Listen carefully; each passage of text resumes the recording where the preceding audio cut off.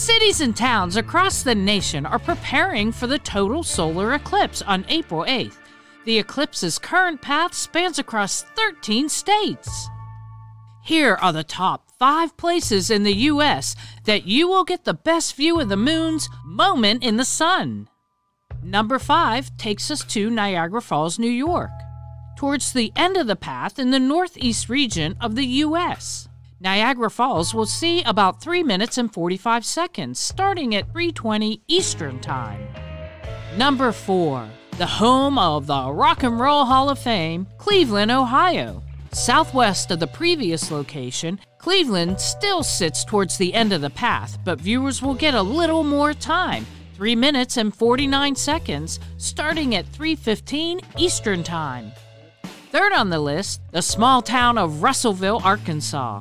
Russellville is tucked in around the center of the eclipse's path, but we'll see a whopping 4 minutes and 11 seconds of totality starting at 1:52 Central Time. The number 2 best place, Radar Base, Texas. Located near the US border, Radar Base is the start of the path while several cities in Texas will get a good view, Radar Base will see 4 minutes and 27 seconds of totality. And number 1, Delta Airlines, who is offering a very unique view of the eclipse at 30,000 feet.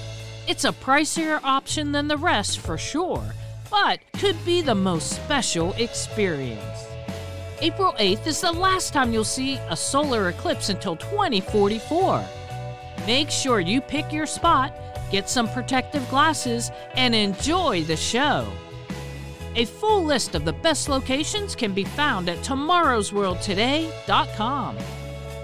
For more information on the innovations that are shaping your world, visit tomorrowsworldtoday.com or check out the Tomorrow's World Today Facebook and Instagram pages.